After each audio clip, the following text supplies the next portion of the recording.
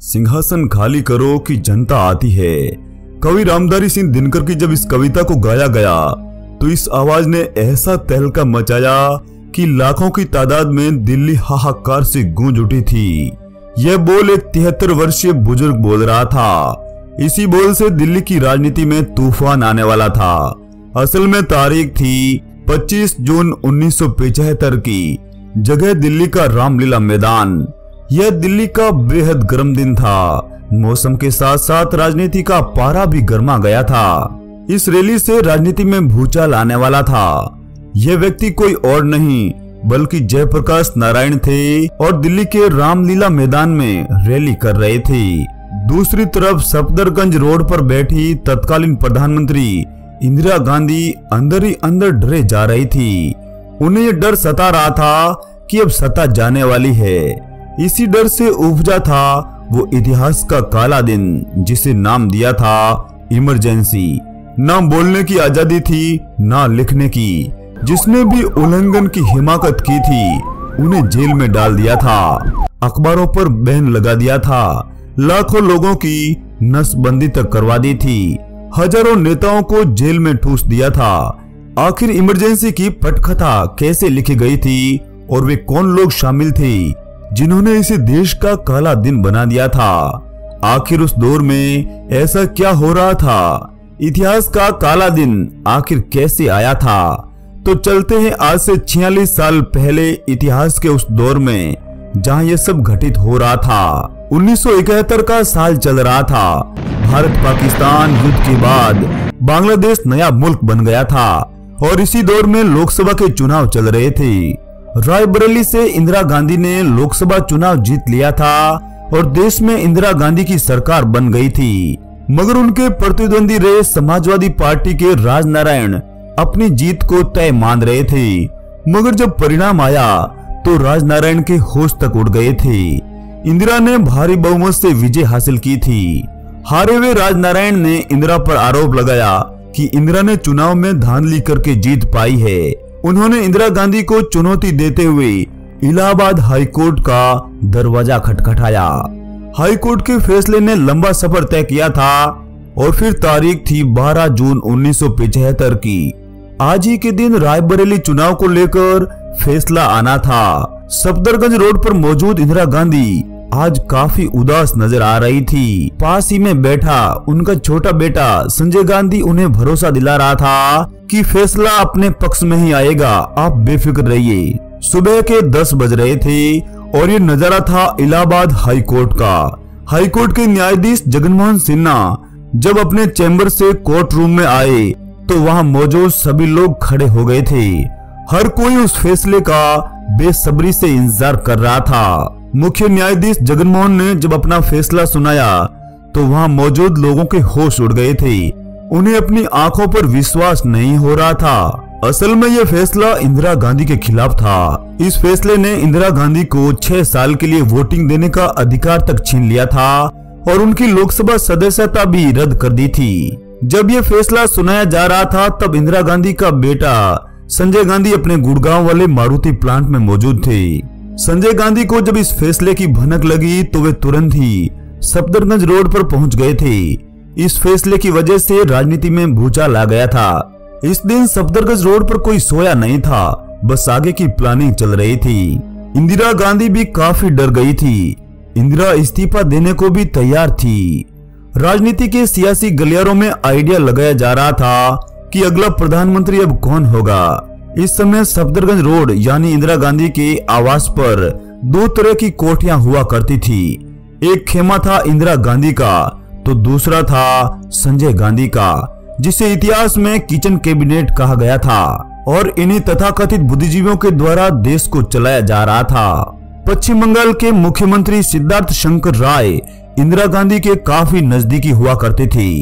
दूसरी तरफ़ संजय गांधी के मित्रों की लिस्ट तो बहुत ही ज़्यादा लंबी थी हरियाणा के मुख्यमंत्री बंशीलाल, केंद्रीय गृह राज्य मंत्री ओम मेहता, सूचना एवं प्रसारण मंत्री विद्याचरण शुक्ल और फिर इस टीम ने तय किया कि इंदिरा गांधी इस्तीफा नहीं देगी और यहीं से इंदिरा गांधी का एक नया अध्याय शुरू होता है। तारीख थी 20 जून 1975 की। इंदिरा गांधी ने दिल्ली में एक बड़ी रैली की थी। करीब 10 लाख लोगों के आने की संभावना थी।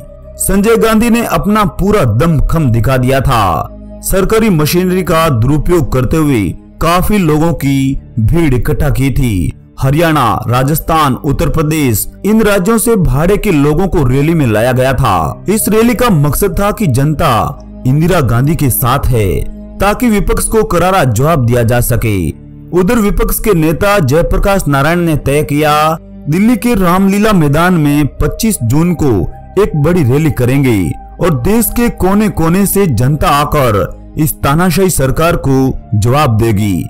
इस खबर से इंदिरा सत्ते में आ गई थी। अब वह चाह रही थी कि किसी भी तरह लोगों को रैली में ना आने दिया जाए। तब इंदिरा गांधी ने दूरदर्शन पर बॉबी फ़िल्म को प्रसारित करवा दिया था, जो उस समय केवल सिनेमा हॉल में ही चलती थी, ताकि लोग फ़िल्म देखने में मशगूल हो जाए और जेपी की रैली फ्लॉप हो जाए। तारीख थी 23 जून 1975 की। जयप्रकाश नारायण पटना एयरपोर्ट से दिल्ली एयरपोर्ट के लिए उड़ान भरने ही वाले थे, मगर उन्हें जवाब मिला कि आज मौसम खराब है, इसलिए विमान को उड़ाया नहीं जा सकता। असल में यह भी इंदिरा गांधी की एक चाल थी, ताकि जयप्रकाश दिल्ली पहुंचकर रैली में शामिल ही ना हो पाए। बुज़ुर्ग जयप्रकाश बीमार भी थे, आखिरकार वे ट्रेन पकड़कर अगले ही दिन दिल्ली हाजिर हो गए थे। 25 जून की रैली में देश के कोने कोने से लोग आए थे। ऐसी भीड़ दिल्ली में पहले कभी नहीं देखी गई थी।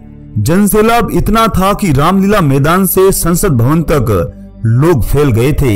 इस समय ही जयप्रकाश नारायण ने कहा था कि सिंहासन खाली करो कि जनता आती है। और फिर लोगों ने दोनों हाथ खड़े करके उनका समर्थन किया था। उन्होंने पुलिस और सेना को भी नसीहत दे डाली कि हुकूमत के गलत फैसलों का साथ ना दे। 25 जून 1975 की शाम ढलते ढलते जेपी ने रामला मैदान से घमासान का ऐलान कर दिया था। उस दिन जयप्रकाश वापस पटना जाने ही वाले थे, मगर उनका स्वास्थ्य ठीक नहीं था और फिर वहीं दिल्ली में गांधी शांति प्रतिष्ठान में ठहर गए थे। इसी दिन इंदिरा गांधी ने पश्चिम बंगाल के मुख्यमंत्री सिद्धार्थ शंकर राय को फ़ोन करके अपने आवास पर बुलाया था, जो उस समय दिल्ली में मौजूद थे। और फिर थोड़े ही समय में सिद्धार्थ शंकर सफदरगंज रोड पहुँच गए थे। जैसे ही सिद्धार्थ दाखिल हुए, इंदिरा गांधी बड़ी गंभीर मुद्रा में मेज पर बैठी थी। सिद्धार्थ शंकर राय संवैधानिक मामलों के विशेषज्ञ माने जाते थे और इंदिरा विकट परिस्थिति से बाहर निकलना चाह रही थी। और फिर सिद्धार्थ शंकर राय ही वह व्यक्ति था, जिन्होंने आपातकाल लगाने का आइडिया दिया था।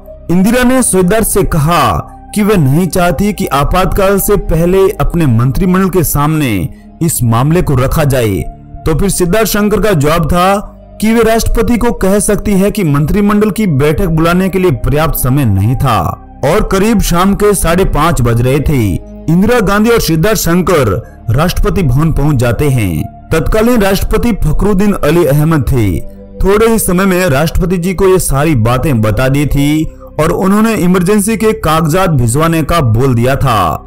ये लोग वापस सफदरगंज रोड पहुंचकर आपातकाल का मसौदा तैयार करते हैं और यह भी तय करते हैं कि सुबह जब इमरजेंसी का पहला दिन होगा तो ऑल इंडिया रेडियो पर उनका भाषण क्या होगा।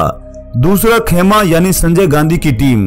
ये लोग तय कर रहे थे कि किन किन लोगों को जेलों में डालना है। बिजली की लाइट कब काटनी है ताकि कल वाले दिन की खबर अखबार वाले छाप ही नहीं पाए? अदालतों को बंद कैसे करवाया जाना है?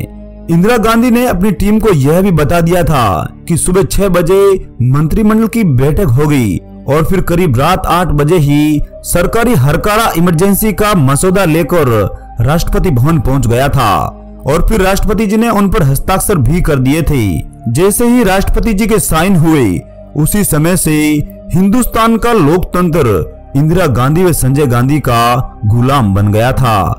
इंदिरा गांधी को यह भी पता था कि कैसे उनके पिताजी ने बड़ी मुश्किल से लोकतंत्र की नींव रखी थी और वे आज उन्हीं को धूमिल करने में लगे हैं। उस रात इंदिरा गांधी ठीक से सो भी नहीं पाई थी। रात करीब एक बजे सभी बड़े नेताओं को गिरफ़्तार कर लिया था। उनमें प्रमुख थे जयप्रकाश नारायण, मोरारजी देसाई लाल कृष्ण आडवाणी और ये लिस्ट बहुत लंबी थी। और फिर 26 जून की सुबह ठीक छह बजे कैबिनेट की आपात बैठक बुलाई गई, जो करीब पंद्रह मिनट ही चल पाई थी। और फिर सभी ने हाँ में हाँ मिलाकर आपातकाल की कहानी सुन ली थी। 26 मई के तड़के ही करीब छत्तीस हज़ार से ज़्यादा लोगों को गिरफ़्तार किया गया था। उनमें से 2500 लोग तो केवल बिहार से ही थे। रात में ही बहादुर शाह ज़फ़र मार्ग की लाइटें तक काट दी थी, क्योंकि ज़्यादातर प्रिंटिंग प्रेस वहीं पर मौजूद थी। लोगों के बुनियादी अधिकार जब्त कर लिए थे। मीडिया पर पाबंदी थी और बोलने लिखने की आज़ादी को भी छीन लिया था। यह गंदा खेल करीब 21 महीनों तक चला था। इमरजेंसी के बाद तुरंत ही इंदिरा गांधी ने लोकसभा को भंग कर दिया था और फिर नए चुनाव करवाए। मगर इस चुनाव में कांग्रेस का सुपड़ा ही साफ़ हो गया था। इस तरह भारत में पहली बार 1977 में गैर कांग्रेसी सरकार बनी थी। जनता दल के मोरारजी देसाई भारत के नए प्रधानमंत्री बन गए थे। जिन लोगों ने लोकतंत्र से खिलवाड़ किया था, उनके लिए यह एक करारा झटका था। दोस्तों, इमरजेंसी को लेकर आपके विचारों का स्वागत है। जय हिंद, वंदे मातरम।